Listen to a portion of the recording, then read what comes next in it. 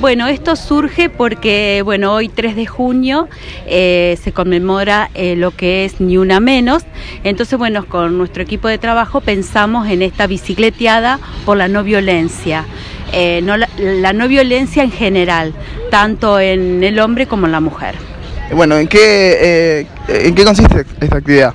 Bueno, esta actividad consiste que se invitó a toda nuestra comunidad a que nos acompañe en el día de hoy. Eh, vamos a decir unas palabras, después cada uno va a poder escribir en unos papeles que nosotros le vamos a dar alguna frase o alguna palabra suelta que esté relacionada con la no violencia.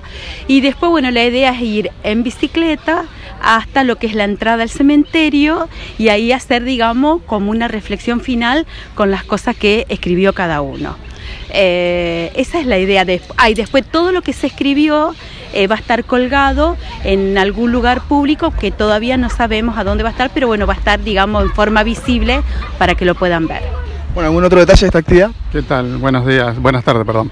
Eh, bueno, sí, obviamente, por un lado queremos recordar que el 3 de junio del 2015 se inició esta eh, no, campaña de la no violencia y también recordar que el 3 de junio la Organización Mundial de la Salud lo decretó como el Día Mundial de la Bicicleta. Entonces aprovechar y también agradecer obviamente el tiempo y que justo cayó sábado para poder hacer esta, eh, esta actividad.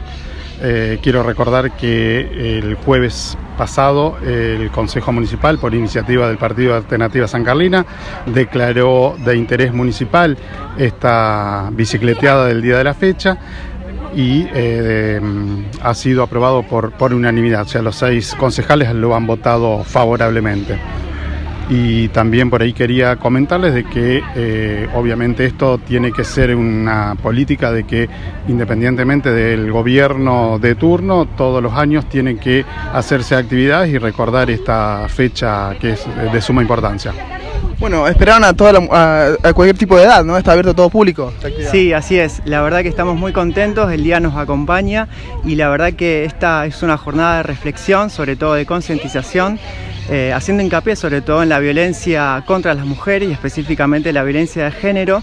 La verdad que los datos hoy en día son alarmantes, tenemos altos índices de femicidio a nivel nacional, como transfemicidio también, y la verdad que también es un problema estructural en el cual eh, la sociedad eh, cada vez está más empobrecida y en el cual eso también afecta directamente a las mujeres, a las niñas y a las jóvenes.